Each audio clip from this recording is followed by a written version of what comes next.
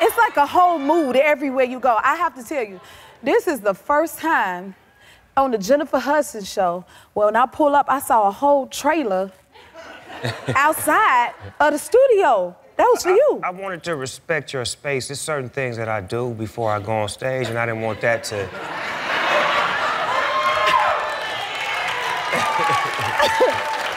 certain things like what? I mean, I have a certain aroma that I don't. I don't want to follow me to your set. ah! okay, okay. Now, Snoop, I gotta ask you. I just want to know this: How long you been smoking? Like when you start? Do you even remember when you started? I started probably when I got to like 12th grade. 12th grade. In high school, yeah. And then I, I was like on and off. And then when I started making records, it became like it was medicine for me. It was like my medicine to keep me calm and to keep me focused on what I was supposed to be doing. So I would say probably 30 some years. I and mean, we found out that it's medically inclined. So I, I was doing I was doing some real I was doing some uh, what you would call futuristic smoking. I was smoking for the future. You were smoking. How did you spend your holiday? My holidays, I spent it in Bora Bora with my wife, mm. a couple of my grandkids, my son and my daughter. Uh, we went out there to relax, just to enjoy the other side of the world. Nice. Yeah. Oh, I got my shirt off? Yes, you said you got your shirt off. You don't remember that picture? I do remember, but y'all ain't supposed to see me with my shirt off. what was the weather like out there? Cause... It was beautiful. I mean, it was like 75 or better every day. All, even at nighttime, it was beautiful. What? And it took you 30 years to take your first vacation? It really did. I was so focused on um, the, the task at hand, like, which was, I had a job, like, yeah. and my job was to entertain and to make people feel good, and I loved it. And I never thought about me, I always thought about you. Right. So for one point in my life, I was like, well, let me just take some me time and see what it feels like to take a vacation. You deserve yeah. that, because you blessed us all so much. You take a ton, but I'm gonna take that out your book because I need a vacation you too. better get you one. One day, I'm gonna get me one good old vacation. I don't know if it's gonna be Bora Bora, but it's gonna be somewhere. That's for sure. Now, okay, I'm just, I was trying to imagine Snoop as a granddad. So how many grandkids do you have? Actually, I have I have a total of 12 grandkids. 12? Yes. Yes. Yes, I do. And they're different ages, ranges, sizes, and I love them all the same way. Oh. Actually, my oldest grandson, his birthday is today, so I'm on my way to his birthday party when I leave here. I love it. How old is he gonna be? He's gonna be nine years old. That's Zion Broadus. That is adorable. What do your grandkids call you? Well, he was the first one to name me. He used to call me Papa Noop, because he couldn't he couldn't say Snoop. so he started calling me Papa Noop.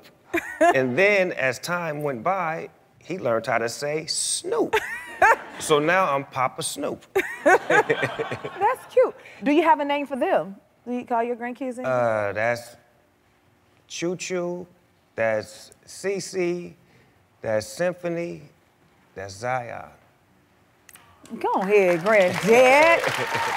oh my goodness. Okay, now you a legend yourself, and you. I mean, I don't know nobody who don't love Snoop. Okay, we all do, right?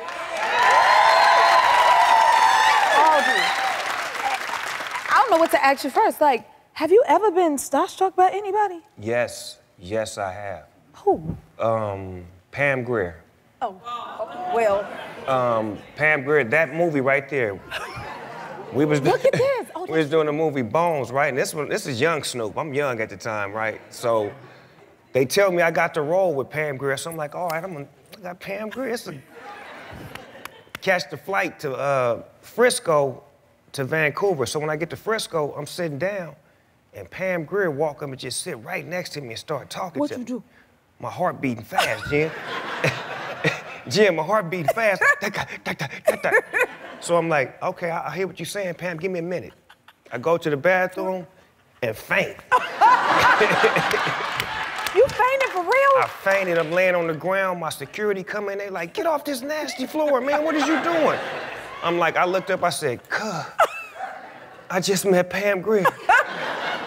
And they pulled me off the floor, wiped me down, and I sat next to her the whole flight, and I didn't even look at her she was talking to me and just and I'm just like, I can't believe I'm sitting next to. Her. But she broke me down. She gave me all of the information that I needed as far as to like lose that.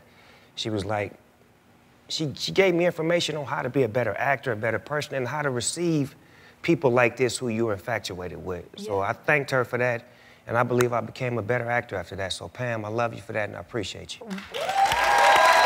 Can I give you, you something right now? You got something for me? Yeah, I got well, this. He came with gifts. This rose gold death row chain for you, Jen. I get a death row chain, y'all. I'm part of the family Snoop. You've been a part of the family. Now it's official.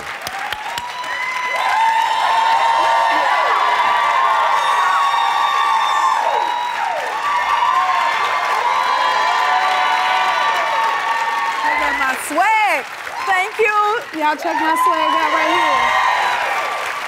here. You can't tell me nothing. Nothing. More with Snoop. We'll be right back. Right back. Right back.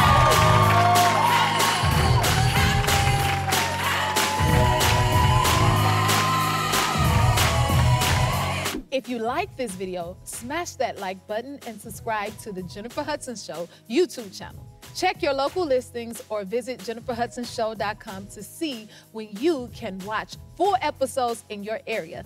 And don't forget to sign up for the newsletter.